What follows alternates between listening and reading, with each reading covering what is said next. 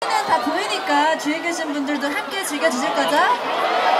이거 뭔가 뭐죠? 뽑기인가요? 뽑기? 뽑으면 되나? 이거 뭔가요?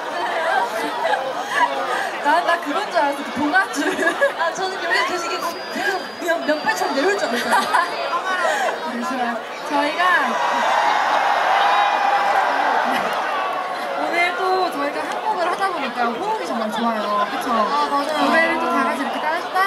불러주시는 모습이 아름답습니다, 여러분. 네, 그리고 저희가 오랜만에 이렇게 많은 분들을 보니까 되게 기분도 좋고, 어, 뭐라고 하죠? 신나네요. 아주 네. 어떻게 표현하는 게 정말 흥미로울까요? Exciting, exciting. 어, exciting 하네요.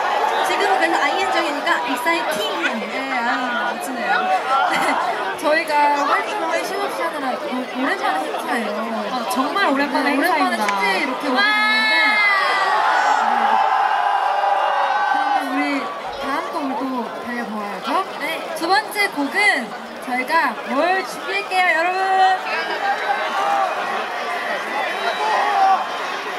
뭐라고요? 지금 아는 노래 다 말하시는 거예요? 여러분, 저희 지금 활동하고 있는 곡 어떤 곡인지 아세요? 오! 그치만 여름빛 아니에요. 아쉽다. 그, 그 전 노래가 뭘까요? 아, 진짜. 너무 좋다, 오늘. 아, 호흡이 아주 장난이 어. 아니에요.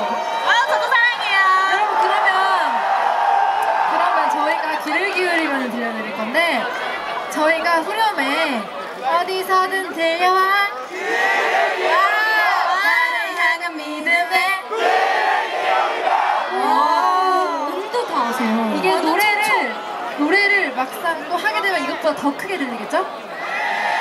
좋아요 좋아요 그러면 어떻게 해볼까요? 합시다. 아, 합시다. 여러분들 응원에 귀를 기울여 보겠습니다 한번.